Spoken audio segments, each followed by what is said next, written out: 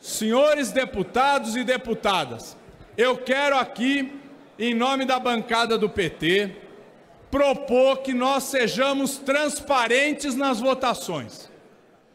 Quero dizer que, do nosso ponto de vista, o projeto da Previdência, a chamada reforma, que na verdade é um desmonte, ela não pode ser votada num dia de semana.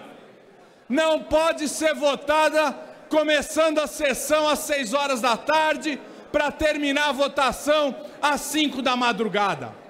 O projeto da Previdência é um projeto fundamental para todos os brasileiros, os jovens, os velhos, todos.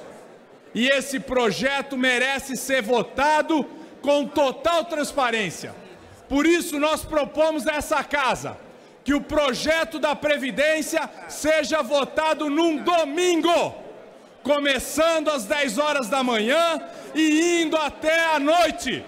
Vamos votar num domingo, para que todos saibam os argumentos a favor, os argumentos contra e o voto de cada deputado. Senhor presidente Rodrigo Maia, que nesse momento não, não está nessa casa, quero deixar aqui essa proposta e vamos divulgá-la a todo o país e exigir que haja transparência no parlamento brasileiro. É isso que o povo brasileiro merece, é isso que a nação merece. É dessa forma que nós, deputados e deputadas, devemos e precisamos atuar. Muito obrigado, senhor presidente.